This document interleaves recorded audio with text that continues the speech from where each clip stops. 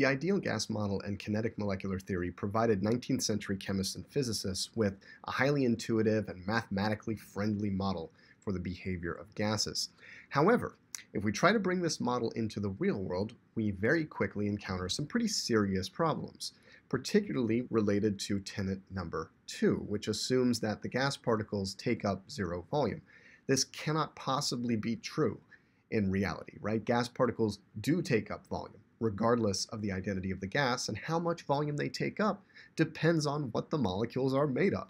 So we can't just assume that molecules have negligible volume if we want to bring this model into the real world. Tenet 4 is also problematic. Gas particles do exert attractive or repulsive forces on one another when they come into close contact. These are simply intermolecular forces, and you will talk about them in great detail in your introductory chemistry course in solids and liquids.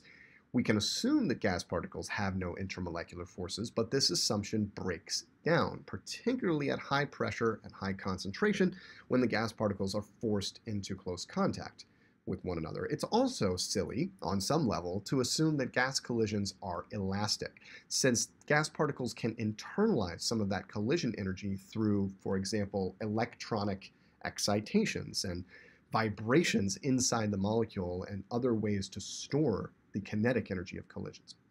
So the kinetic molecular theory breaks down when we look at real gases to a greater or lesser extent. It has withstood the test of time because many, many gases under a wide variety of typical conditions do behave in a close to ideal manner.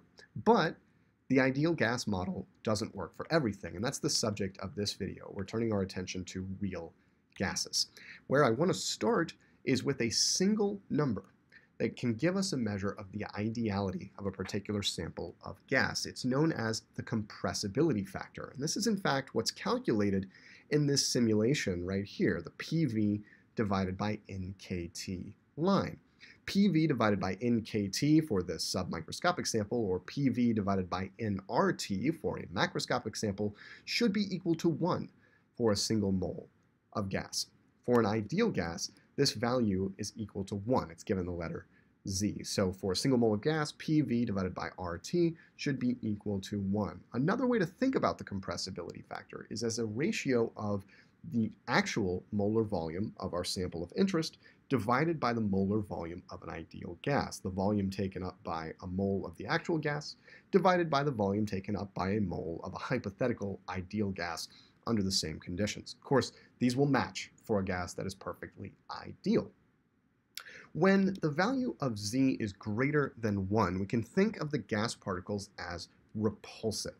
The pressure times the volume is greater than would be expected based on the ideal gas model, or in terms of the molar volumes, the molar volume of the actual gas is greater than would be expected based on the ideal gas model. It's taking up more space than the ideal gas model would predict because of repulsions between the gas particles. That is what's seen in this simulation, and the essential reason why is that each of these circles is actually taking up some space. So there are massive repulsions, essentially infinite repulsions inside the circles, right? The gas particles cannot get closer to one another than the diameter of these circles, essentially.